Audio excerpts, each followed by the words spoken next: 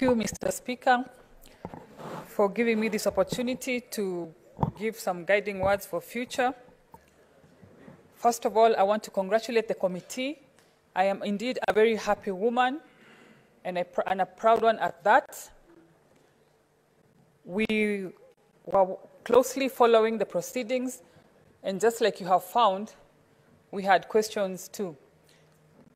Um, to the county assemblies in this country, we want to tell you to use impeachment very sparingly and when necessary.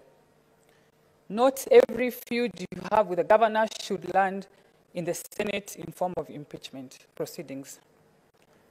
The matter of first gentleman is going to be a normal occurrence in this country going forward because a lot of us have ambitions to be governors in this country. And so our spouses should not, should not be victimized. Another thing, Governor Kawira, we have witnessed double standards when it comes to women leadership. I am a recent victim, and we have to stand firm. We have to stand firm in our space with no apologies.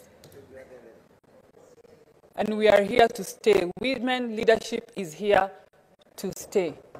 We will not be victimized anytime we do much less than our male counterparts are doing. Thank you, Mr. Speaker. Senator Wambua.